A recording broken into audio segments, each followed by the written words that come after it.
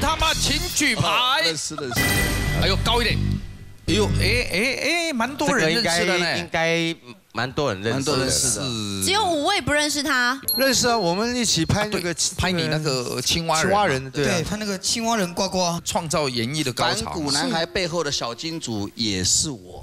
对对对，当时找他演，我就非常不高兴了。听说了听说了，我们之前配合过一个那个 I have 什么，PPAP 也是五百万点阅，对不对？暗黑版的，可是 PPAP 本来可以到七百多，找老师变五百多。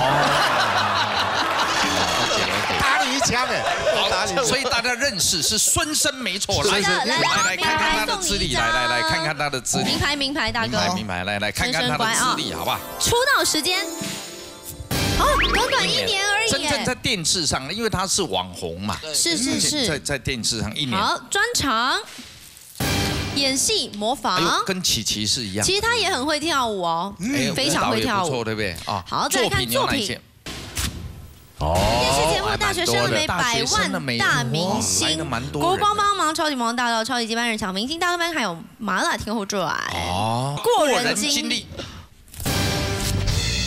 YouTube 影片最高观看次数五百万哦，就是跟詹老师那个。对，P P A P 就跟你啊，对啊。你也是要表演什么？你要跳舞吗？还是没有，今天模仿那个阿寇谢和弦，哦，好，那你就来吧。嗯来啊，我们就看你模仿好不好？来来，好孙欢迎呃孙仁加油谢和弦的表演，Let's go。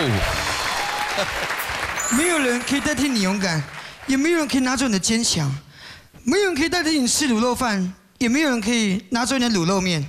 我现在是南头府里阿寇谢和弦，我又失态了。今天心情比较好，给你们讲几个笑话。你知道哪个原唱最正吗？啊，最最正谁知道？这个应该大家都知道是郑元畅吧？对，你答对了，郑元畅，我被破等了。我我我我，还有第二个笑话，好，李荣浩家里开什么？这个就有点难哦。不知道了吧哎？答案是李荣苑。但那些都不是重点。等一下，我又发作了，我脑袋有点痛，我又要发作了。你们没有告诉你们？你们没有告诉你们？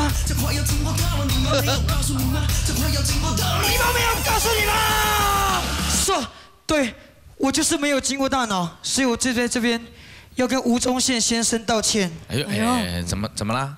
吴宗宪先生，哎，对不起，哎，哎，哦，我们和好了，我们来玩一下自拍吧。哦好啊，我们一起大家来合个影，嗯嗯，没问题一起合一张照。